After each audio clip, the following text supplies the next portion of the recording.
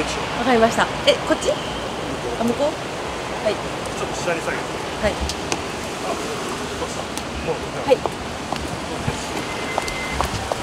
あ疲れたお願いしま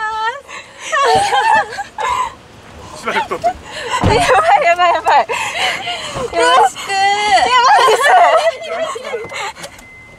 ありがとう。なんかもう本当嬉しいよ。ちょっと今マジで嬉しい。こんな喜んでくれてる。とりあえずとりあえずこんな状況ですけど一回会社に向かちょっとトースポのカメラが前田さんの無茶ぶりで回ってます。えやばいです。本当にやばいありがとう。こっちそうえ嬉しすぎる。本当ありがとうね。本当にずっと会いたくて。え本当こんな喜んでくれると思わなかった。そう本来ててよかった。若干まきみさんの到着と時間差があったからこのパターンで行くしかない。やばいですもう手が。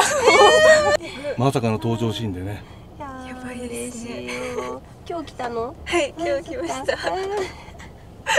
東京駅でね迷ってました。そっか広いもんね。わかんないよねで前田さんいた？はい、うん。あでも電話して、うん。えどこですかねここみたいな。何が見える？え何もロッカーが見えます。八重洲口とね丸の内が分かってなかったというのが痛恨だった。じゃあ全然違うところにいたってことですか？そう。あわかんないよこれはよかった無事に会えて。本当に。ご存知ですか？はい。もちろん ちょっと衝撃の出会いからスタートでしたけれども。そうですね。だいぶびっくりしました。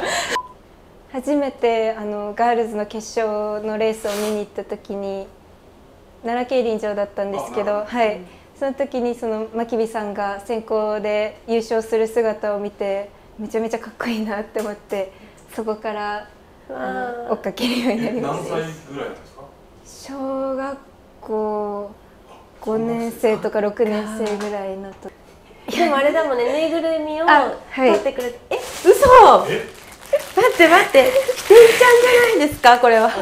起点ちゃんは嬉しい。あのへこれに、あのビニール袋に指紋がついてるって思うとこの破れた袋が捨てれなくて。えそのまま保管してこのがまとお兄ちゃんが取ってくれて、へはい、で花束もお父さんが取ってくれて。うそう。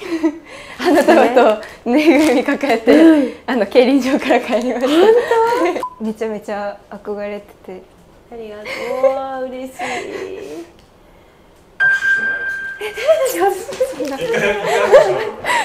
やばいです。あ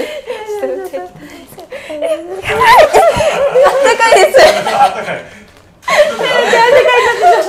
ちょっともう洗えないんで今日こうやってお風呂入らないといけないです。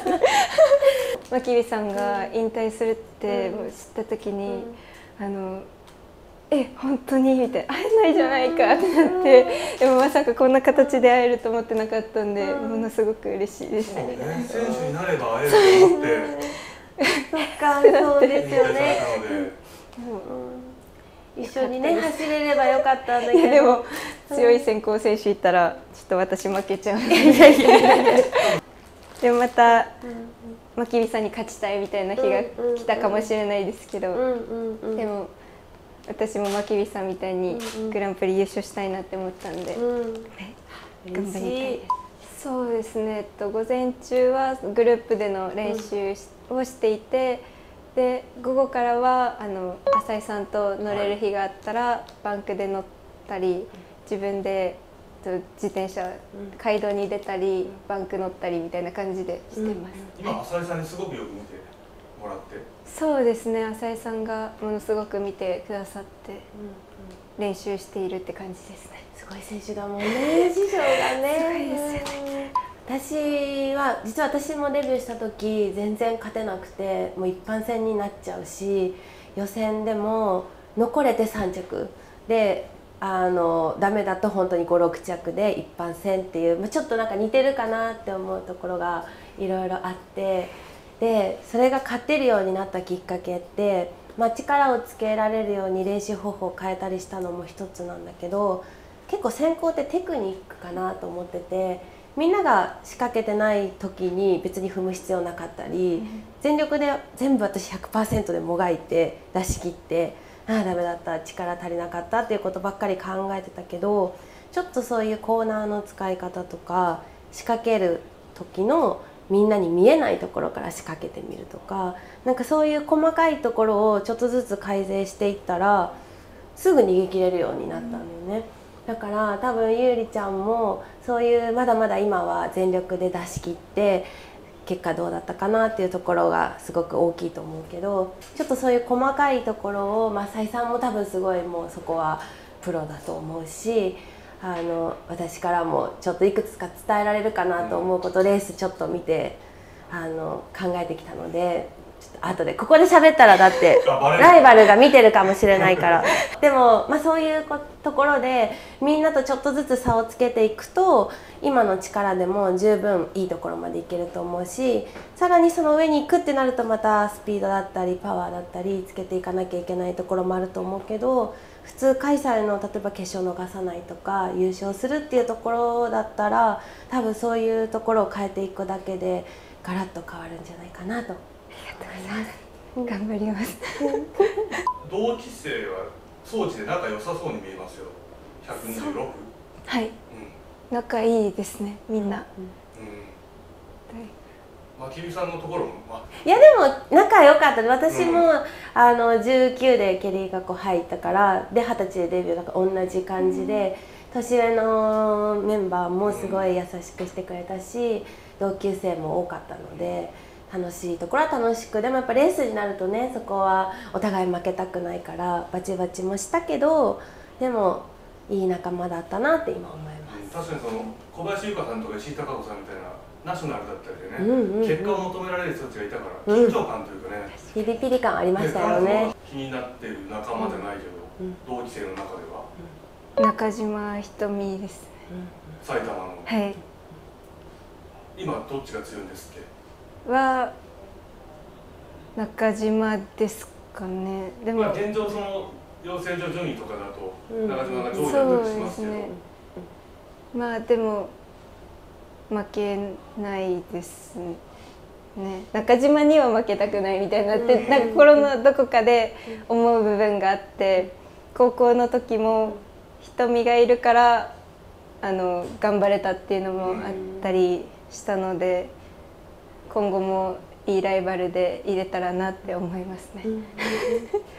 あの私が走る決勝とか、うん。あの 500m タイムトライアルとかには常に名前が載っていたので、あまたいる。でも頑張らないとみたいな時とかあとその自分がちょっと弱気な気持ちになってた時とかに中島の気持ちの強い部分を見て、あ私ももっと強くいかないとなとか、そういうふうに思えたので本当にいい刺激をもらっていますね。まきみさんも異様な気の強さというか、まあ、気の強いが常に。ね 私はほら泣き虫な方だったからすぐねあのすごい泣いてましたよね私。もうね先輩に泣くなって怒られちゃうぐらい。私も泣き虫あです泣き虫はよかった。泣き虫。つながりでよかったどう？三三は得意とか苦手とかある？そうですね、でもなんか三々でも結構カントがあったりとか、なんか刺されやすかったりとか、うんなんかいろんな場所があって、まだ全部走りきれてなくて、どこがどうっていうのが分かんないんですけど、でも直線が短いとまだ残ってられるのかなとか、うん。カントがあるとスピードはつきやすいのかなっていうふうには思いますね。三さんはなんかね、あの得意としてたような印象がありますよ、三三はもう浮いてしまったら終わりかなって思ってたので、まあ、多少その分距離長くなったとしてもいかに先頭まで出られるかっていうところと、まあ、できる限りで出るまでの間に力を使わないことはすごく気をつけてたので意外と距離長いなと思ってもジャンから1回切っちゃった方があの残れたり。4コーナーまでちょっと待ってるとみんなもそこから踏むからそういうところで浮いてしまってずっと外並走になっちゃうとやっぱり最終3コーナーでバーって散っていっちゃうことにもつながっちゃうからどうしたら前に出れるかなっていうのはすごい緻密に考えるようにしてたかなと思います。ジャンバで動けないので、ね、前に突っ張りそうな子がいるとなかなかね合わされちゃったりもね。あと切ろうとするタイミングうんうんうもん。あのどこかわからないのが怖くて、ね難しいよはい。ね。3ヶ月かとか思いながら。そうだよね。巻き火さんはどうでしたデビューしてしばらくというかオフの人もあったんですか？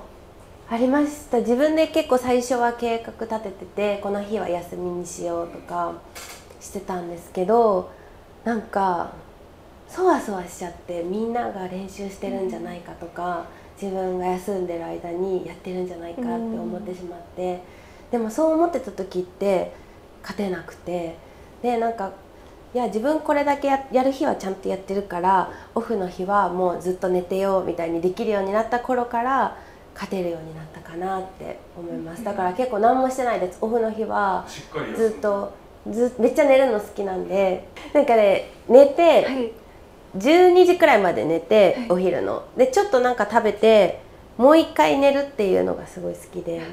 わかるあ嫌います。わかる。寝るの？寝る、はい。ねいいよね。なんかお昼ぐらいに寝る、うなんかもうあ幸せみたいな。幸せだよね。でお腹もすくじゃんお昼一回起きた時。でも食べると満足してまだ寝れるよえね 寝れますでまた夜が来たらうん。寝るかみたいな、寝るので疲れて寝るみたいな、嬉しい。共通点がねそんな異様に多い二人なんだな、最高です。よかった。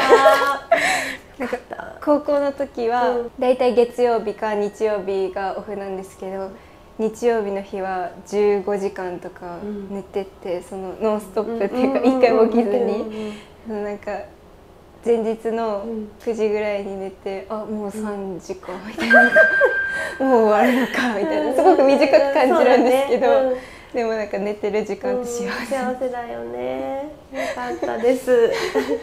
え食べ物は何が好き？食べ物うは、ん。エビとかその魚介系あそうとかも好きですし、うん。ご飯も好きですし、うん。うんとお菓子も食べるし、うんなんかいっぱい食べる。いいね。まきびさんは何でも私もその1個のものをエビが好きですとかっていうわけじゃなくなんかおなんだろうこうしょっぱい系のお菓子も好きで甘い系のお菓子も好きで白米も好きで魚介も好きでみたいななんかねこれっていうのがあんまりないから。ないですよね。そうなの。美味しいものはそうそうそうそう美味しい。です嬉しい。なんか。本当に共通点が非常に多いんで、伊藤さんはご自身何か今足りないなと思うものは？そうですね。なんかまだその専攻って言っても一つの専攻とかしか多分できてなくて、いろんな専攻ってあるじゃないですか、うんうんうん。そういうのをもっと身につけていくのと同時に脚力だったり、あと前に出る技術だったり、S 取りに行かないといけない場所なのかとか、そういう細かいところもやっていかないといけないんだなってすごく感じていますね。あでも疑ってますよね。何何？え？足りないのそこじゃないよねみたいな顔してますよね。そんなしてないですよ。分析してて偉いなって思いました。えちゃんと。足りないものが一つ？え？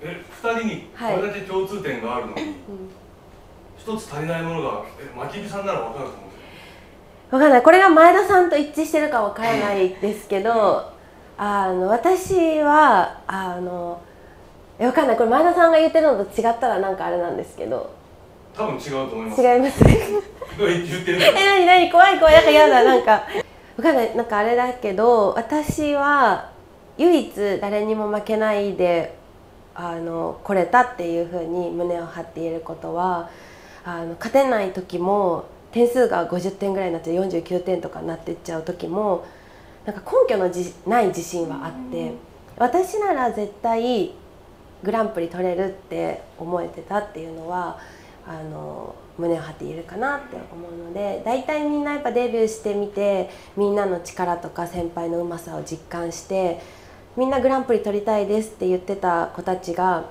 大体1年ぐらいするとみんなパタッと言わなくなるんだよね。多分それっていけるって思って出てきたけど思ったよりも通用しなくてまあでもそれなりに賞金ももらえるしあの遊べる時間もあるしあの取材もしてもらえて、まあ、このくらいでいいかって思う人たちがやっぱ増えてくるのってそのぐらいかなって思うけど、そこで満足するのも一つ全然いいと思うんだけどあのいや私は今全然できてないけど私はみんなと違うからやれるって思い続けるっていうことが一番大事かなって私は思うので、まあ、ゆりちゃん今すごい意気込みもあってグランプリ取りたいですって言っててすごく嬉しかったからこれがまた1年後輩出てきてうまくいかない時とかもあると思うけどその気持ちは持ち続けていてほしいなって思います。はい、どうですか？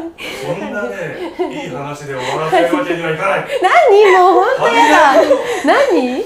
まきりさんは初期の頃に、うん、まあ自分で作ったというよりはまああなるほどなるほど。そういうやつがないっていうことか。伊藤優さんが決めポーズは、ないです、ね、えじゃああれでいいじゃないですかひよこのポーズ。いやね今日ここで決定してもらおうと思います。えー、でもそういうの考えるのは前田さんの仕事じゃないですか。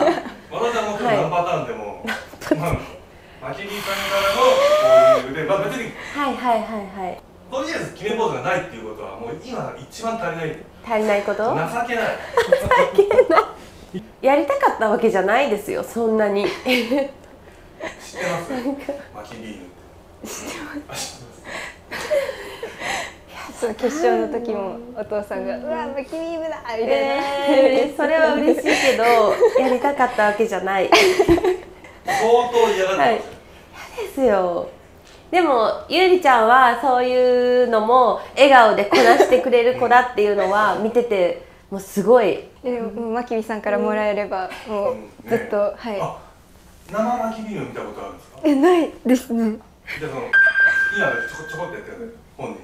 ここカメラじゃ一緒にやる？やばいです。一緒にやる。せーの、まきまきまきビーム。そうですね。やばい。有利をどう使うか。あで一番私好きなのはユーリ・アルバチャコフっていう僕 前も言いました。ああそっか。マキビーム。ビームだったからってことか。ええー、まあでもじゃあユーリファイヤーでいいですか。ユーリファイヤー、うん、シンプルな方がいいですもんね、うん、うん。覚えてもらいやすいし。ユーリファイヤーでいいんじゃないですか、うん、あいいいいいい。いいこれここが U の字になるね。ああユー。リファイヤーユーリファイヤーせーの。ユーリファイヤーえすごい可愛い可愛いえ嬉しいです。いいいいいい。やりやすい。しなんか勝利者インタビューとかで「でせーの」って言ってみんなが「ユーリーファイヤー」ってやるのとかすごい 一体感生まれていいです。いや楽しかった。ありがとう。ございました。めちゃいい時間でした。ありがとう。ございます最初お客さんの前でこれがまだ出始めの頃なんか「巻きビームって最近あるんですよね」って司会の人が言ってくれて、でお客さんたちがもうどんなものなのかってなんか期待しちゃってで 一人でステージの上でやったら一回シーンってなってからでも多分かわいそうって思ってくれてあでもかわいいねってなってくれたのがもう忘れられなくて。メッセージお願いします。はい、えー、精一杯自分の自分らしさが出せるレースをしたいと思います、えー、応援よろしくお願いしますでしたっけ？ユーリファイヤーでしたっけ？ここはね防府ファイヤーです。防府ファイヤー。かわいい。いやめちゃくちゃいいってこれ。はい、えー、私が現役の時に着ていたユニフォームに2人でサインを書かせていただきました。えー、競輪班トースポ競輪班の X を詳しくはご覧ください